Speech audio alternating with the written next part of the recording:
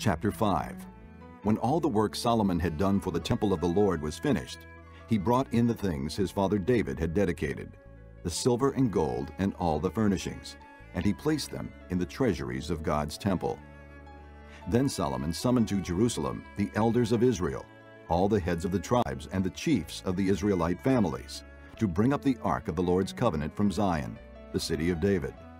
And all the men of Israel came together to the king at the time of the festival in the seventh month. When all the elders of Israel had arrived, the Levites took up the ark, and they brought up the ark in the tent of meeting and all the sacred furnishings in it.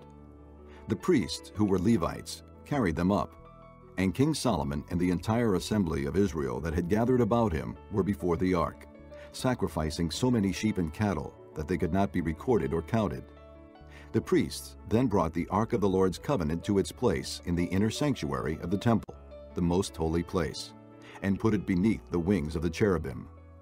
The cherubim spread their wings over the place of the ark and covered the ark and its carrying poles.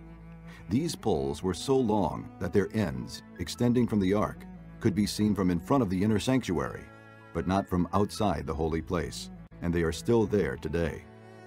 There was nothing in the ark except the two tablets that Moses had placed in it at Horeb, where the Lord made a covenant with the Israelites after they came out of Egypt. The priests then withdrew from the holy place. All the priests who were there had consecrated themselves, regardless of their divisions. All the Levites who were musicians, Asaph, Heman, Jeduthun, and their sons and relatives, stood on the east side of the altar, dressed in fine linen and playing cymbals, harps, and lyres. They were accompanied by 120 priests sounding trumpets. The trumpeters and singers joined in unison, as with one voice, to give praise and thanks to the Lord.